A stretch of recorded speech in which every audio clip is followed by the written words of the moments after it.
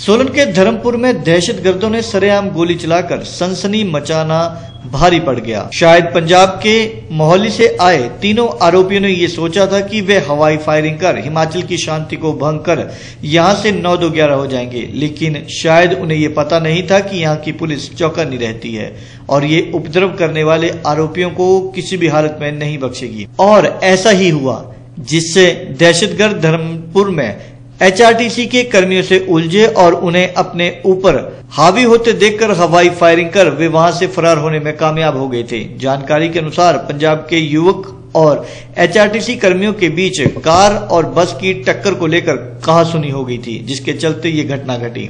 इस घटना में पुलिस ने बेहद सतर्कता से काम करते हुए बिना हथियार के ही उन्होंने आरोपियों को पकड़ने में कामयाबी हासिल की। पुलिस अधीक्षक मोहित चावला ने मामले की पुष्टि करते हुए बताया कि आरोपी मोहली के रहने वाले हैं और उनका प्रॉपर्टी का बिज़नेस है। उन्होंने कहा कि जिस हथियार से सोलन में गोली चलाई गई थी, वे हिमाचल में अवैध थी, जिनका उनके पास हिमाचल का लाइसेंस नहीं था। इसलिए उन्हें अवैध हथियार का मामला दर्ज किया है और आवश्यक कार्रवाई उनके खिलाफ की जा रही है, जिन्हें न्यायालय में पेश कर तीन दिन का रिमांड भी मांगा गया।